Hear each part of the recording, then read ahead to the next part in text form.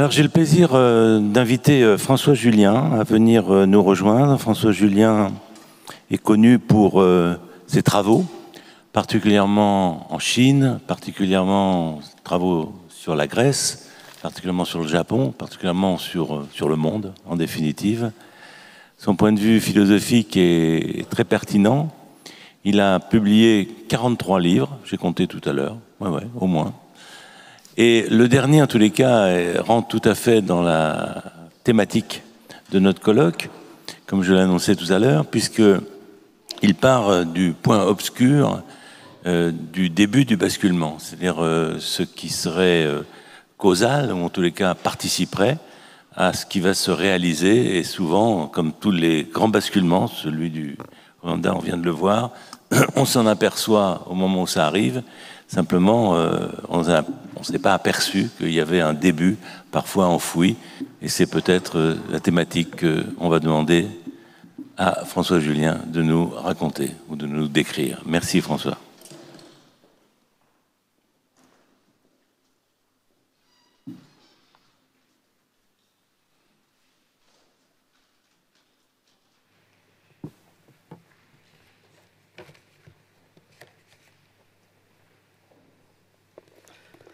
Merci de votre invitation. Je vais essayer effectivement d'éclairer un peu euh, ce qui est ce point obscur du basculement pour essayer de, voilà, de faire apparaître ce qui peut-être nous échappe dans nos vies, mais autour de quoi nos vies tournent. Alors j'interviendrai, point de vue de philosophe, pour m'arrêter sur cette question du basculement. Comment le penser?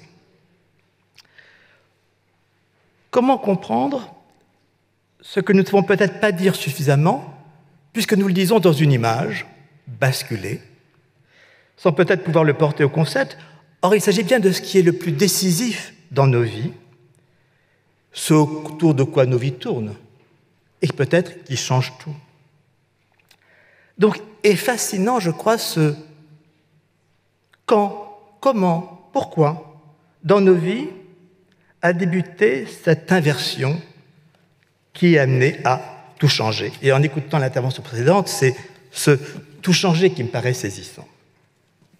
Quand dans nos vies une chose en est venue, nous le constatons soudain, ou plutôt après coup, ce que j'ai entendu de votre intervention, inversée dans son contraire.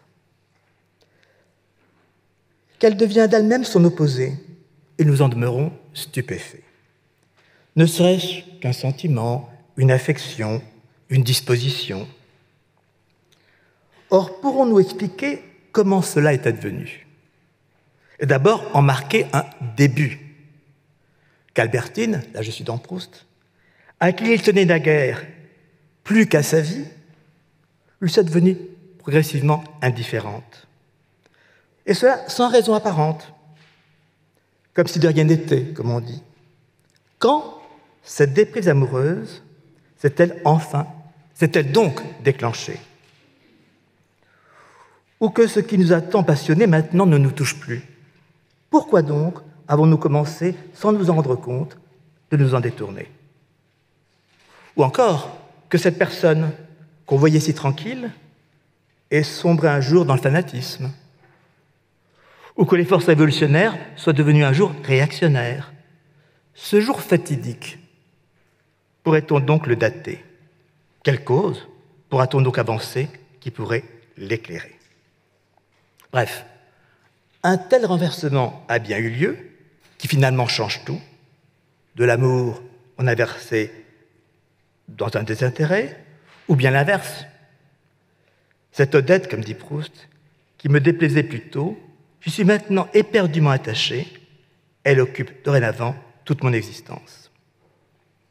Mais quand je me demande quand ce renversement a débuté ou pourquoi il a pu avoir lieu, je ne sais en fait que répondre. Ces questions nous paraissent aller de soi, d'emblée légitimes, du quand, du pourquoi, et même les seules qui s'affondaient. Or, ces questions qu'on ne peut pas ne pas se poser, il faudrait peut-être les questionner. Alors, je vais d'abord m'arrêter sur cette ce terme qui n'aborde qu'une image, le basculement, pour me demander pourquoi on ne peut pas le penser davantage, ce qu'il euh, indique, ce basculement, et pourquoi nous sommes restés contenus dans cette image, l'image de la bascule. La question peut paraître d'abord un peu sans intérêt, euh, futile, mais je crois que quand on commence à tirer ce fil, on voit ce qui vient après, et qui peut être si long ensuite à suivre pour, disons, en rendre compte. Donc force nous est de revenir à cette image, d'en exploiter la ressource, à ce que nous avons désigné, faute d'un autre terme, le basculement. Car cette image n'est plus décomposable. C'est sa bête d'image. Elle met donc un terme à l'analyse impossible. En même temps, elle maintient dans le seul jeu interne des forces en présence. C'est sa vertu physique, basculement. Elle donne à une pièce mobile sur un pivot dont on fait lever une extrémité en abaissant l'autre. Tandis qu'on bat le cul, le terme même, n'est-ce pas Comme le dit crûment le terme, l'autre s'en trouve également haussé. L'inversion s'y produit par conséquent en un seul instant et d'un mouvement unique. Ce qui arrive, de part et d'autre, est simultané et non pas de cause à effet. Du fait même où ce qui se traduit en moins d'un côté, à une extrémité, se traduit ipso facto en plus de l'autre côté. Du fait même que l'un s'enfonce, l'autre, en même temps, d'autant s'élève. La question est là. Comment cet instant de pure simultanéité, échangeant l'un par l'autre, se relie-t-il aux autres? Avant, après? Peut-il leur servir de relais? La dialectique le suppose, mais la dialectique ne l'éclaire pas. Je voudrais en passer par les romanciers, qui, eux, ont charge de rendre compte de ces basculements de nos vies, et dont on voit que, justement, euh, cela est si difficile à euh, réfléchir, à décrire. Je passerai simplement par cette euh, réflexion de Moravia, dans son roman Le mépris, Il espresso. Il met le doigt justement sur ce moment, ce point de basculement des sentiments, de l'affection au mépris dans ce roman, de l'amour à son opposé, en même temps que sur l'impossibilité de le fixer dans le temps comme dans l'expliquer. Donc de répondre au quand et au pourquoi, à ce qui ferait début et à ce qui ferait cause. Je cite Moravia. Ce changement se vérifia certainement durant le mois qui suivit la dite soirée. Mais je ne, sais, mais je ne puis vraiment préciser à quel moment, à quel moment dans l'esprit d'Emilia les plateaux de la balance basculèrent, ni quelle chose provoqua cette rupture d'équilibre. Voit donc bien le, le romancier cherchant à saisir ce point crucial, le point du basculement, et ne le pouvant pas, un mois et euh, ne pouvant pas expliquer quelle cause pouvait rendre compte du basculement lui-même. C'est-à-dire le passage de l'affection au mépris dans ce roman. Donc, de ce moment le plus crucial, d'où tout découle, où tout s'est joué, reconnaît Moravia, on ne peut donner de date ni alléguer des causes. Je dis de Moravia, euh, j'en trouve le, la même, disons, je retrouve la même difficulté dans Proust à la fin de Un amour de Swann. Je cite de nouveau Proust. Son esprit, donc c'est l'esprit de Swann, désireux d'admirer la richesse d'invention de la vie et incapable de se poser longtemps une question difficile, je passe, considéré dans les souffrances qu'il avait éprouvées ce soir-là et les plaisirs encore insoupçonnés qui jamais déjà, et entre lesquels la balance était trop difficile à établir, une sorte d'enchaînement nécessaire. Or, c'est la fin du roman, du texte, Un amour de Swann. Donc, Proust dit à la fois enchaînement nécessaire, il y a bien un enchaînement nécessaire. Et en même temps, eh bien, euh, ce qui se trouve dans la bascule entre, d'une part, euh, les souffrances éprouvées dans cette relation à Odette et en même temps un retour de plaisir qui avait été estompé par cette relation, eh bien, la balance, n'est-ce pas, euh, est égale et euh, fait que cet enchaînement nécessaire, on ne peut pas le déterminer. Le récit s'arrête là. Fin, fin du roman. Sur ce s'achève cette leçon de vie. On ne pourra pas suivre de plus près comment, entre les souffrances éprouvées et les plaisirs pressentis, un certain partage, en un point plus subtil, a pu précisément s'opérer. Alors, c'est de cette difficulté que je voudrais partir en allant très vite pour essayer de euh, voir pourquoi nos outils intellectuels sont si grossiers ou si gourds, maladroits pour saisir ce qui pourtant serait le plus à saisir, et quand, et pourquoi, et le début et la cause, et me posant donc cette question, est-ce qu'il faut, est-ce qu'on peut poser, est-ce que c'est la bonne question que de s'interroger sur le quand et le pourquoi, sur le début et sur la cause? Est-ce qu'il ne faudrait pas voir, euh, percevoir autrement ce qui est arrivé pour ne pas être pris dans le piège de ces questions? Ces questions qui sont les questions de notre langue, celles de l'être, qui nous posent un peu. Avant, ce n'était pas, et maintenant, cela est. Début, et peut-être faut-il sortir de la langue de l'être pour euh, commencer à appréhender de plus près ces transitions, cette euh, subtilité euh, de ce qui s'est ainsi inversé. Alors, je suis philosophe, donc helléniste, mais j'ai fait le choix de passer par un pas, faire un pas de côté, du côté chinois, pour me transporter dans une langue qui pense non pas en termes d'être, de être ou ne pas être, de to be ou not to be, mais euh, en termes de flux, de transition. Et donc voir si on ne pourrait pas, dans notre langue, eh bien, euh, forger des termes qui seraient plus pertinents pour saisir cette chose qui pour nous est essentielle, à savoir le basculement. Ce que nous disons en français que dans une image dont on voit bien qu'elle a du mal à euh, porter au concept ce dont il s'agit aussi crucialement. Donc je vais mettre en question deux termes, plutôt trois. Celui de début. Qu'est-ce que c'est qu'un début? Celui de cause et celui de, du détail, ce qui serait le petit détail significatif qui aurait fait basculer. D'abord le début. Bah, début est un mot étrange. Début, le premier coup de dé. Le début, donc, c'est ce qui ferait passer du non-être à l'être. Entre avant et après, la coupure du non-être à l'être, et qui impliquerait de penser la causalité pour expliquer ce début. Or, il est clair, dès qu'on y réfléchit, que le début est déjà un aboutissement. Début, en français, comme passage du non-être à l'être, euh, eh bien, euh, néglige ou laisse dans l'obscurité ce qui est de l'ordre de l'enfantement, de la gestation, du cheminement précédent, D'où ce début a procédé. Début ne dit rien de la gestation, en quoi la naissance est aussi déjà un aboutissement. Ce, que je dis du début, on pourrait dire aussi bien de la mort. Elle a été évoquée tout à l'heure, euh, comme, disons, coupure qui serait aussi tranchée entre de l'être, cette fois-ci, au non-être, et euh, dont on sait à quel point elle a, disons, euh, plus que coloré, disons, habiter de tragique nos existences. Alors, je proposerai un terme qui puisse aller plus près que début, qui serait celui de amorce.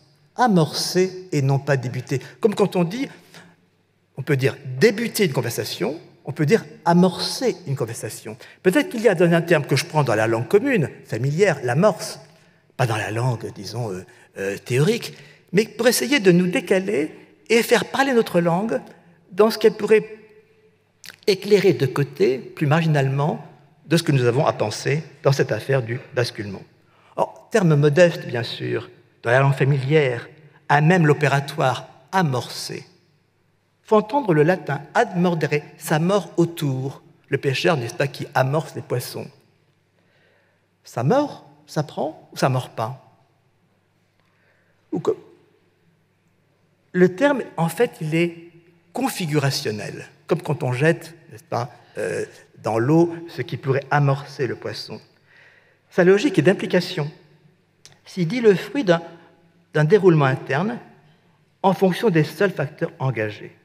Donc amorce n'absolutise pas la rupture, mais au contraire éclaire de façon processuelle, nous met dans la transition de la gestation qui va déboucher à quelque chose qui prend, qui mord ou ne meurt pas. Donc, vous voyez comment ce terme euh, défait ce que début a de tranché, et en quoi début nous laisse peut-être démunis. Et puis ce qui m'intéresse dans le terme d'amorce, c'est qu'il est, euh, opératoire, donc il est autant pratique que théorique. Amorcer un tournant, n'est-ce pas euh, Amorcer une conversation. Donc amorcer fait entendre le caractère ébauché, probatoire, connatif, duratif de l'avènement, ce que recouvre ou dissimule le début. Et donc nous fait apparaître dans l'emmêlement des facteurs ce qui s'en dégage, s'en décante, s'en accrédite, s'en configure, s'en confirme, et commence de prévaloir à titre de propension. Je passerai à ce terme de propension ensuite.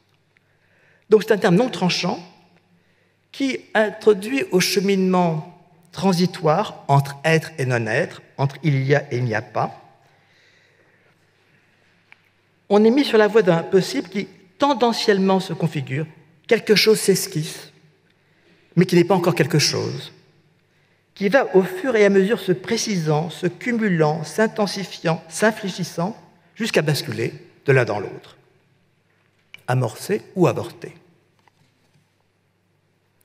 Je suis rendu à la formule qui a été avancée en début de présent exposé sur voir enfin ce qu'on voyait. Ben, je crois que c'est ça qu'il faut éclairer.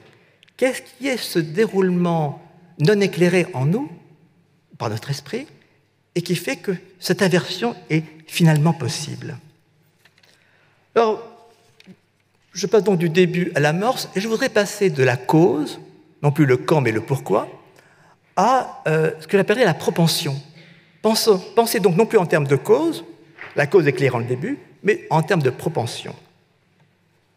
Donc délaisser, si vous voulez, les termes de l'être, du il n'y a pas ou il y a, ou du non-être à l'être, pour penser des termes comme ça qui nous inscrivent dans le linéament, dans ce qui est les infléchissements qui font qu'effectivement l'inversion peut s'éclairer. Alors, excusez-moi, je propos un peu philosophique sur des termes, mais je crois que notre effort doit être d'essayer de cerner de plus près ce autour de quoi nos vies basculent et dont il faudrait quand même essayer de rendre compte euh, de la façon la plus minutieuse pour ne pas en éprouver peut-être de façon trop brutale le renversement et acquérir une sorte d'intelligence de ce qu'on a ainsi vécu comme étant ce grand changement. La cause est le grand outil de l'explication, c'est en quoi les Grecs nous ont installés, pour expliquer justement le début. Expliquer par la causalité. Expliquer implique un agent extérieur, un ex, un dehors.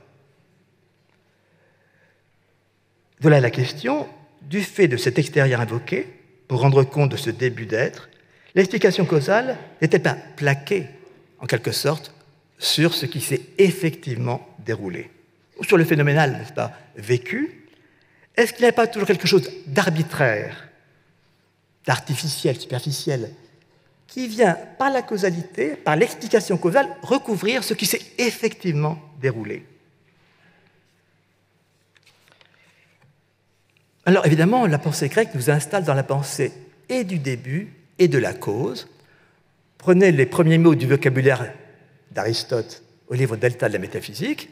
Le premier terme, c'est arché, le commencement commandant la suite, double sens d'arché, commencement, commandement. Et puis le second, c'est Haïtia, la cause. Les deux termes vont ensemble, et c'est eux qui éclairent, sont censés éclairer, disons, euh, notre, euh, notre expérience. Début et cause allant de même, puisque la grande idée grecque, c'est qu'il faut, euh, disons, comme dit Aristote, il faut un jour s'arrêter. Quand on remonte dans la réflexion sur ce qu'on a vécu, il faut un moment mettre un terme la remontée, sinon, serait indéfinie et donc serait vaine. Il faut donc instaurer un moment où ça commence. C'est ce qu'on appelle début, arché, c'est ce qu'on appelle cause, aitia. À partir de quoi on va pouvoir ensuite enchaîner ce qui a suivi. Donc ce n'est pas, pas rien que de penser toujours en termes de début et de cause, donc d'inscrire ce à partir de quoi et de l'éclairer en termes de causalité. Bon, ce qui est parce que la cause explique du dehors, elle explique. Donc elle déplie en faisant intervenir un terme extérieur, expliquer. Et vous savez que cette pensée du début comme cause, les Grecs l'ont développée au maximum, y compris pour poser Dieu comme le grand début qui est la cause. Dieu comme la cause de toute chose. Or, je crois qu'il faut revenir sur cette pensée de la causalité qui a été critiquée du dedans de la philosophie à l'époque moderne, mais pour comprendre ce qu'elle lit et qui peut-être recouvre ce qui s'est vécu plutôt que de l'éclairer. Bon, je prends ça chez Kant pour aller très vite.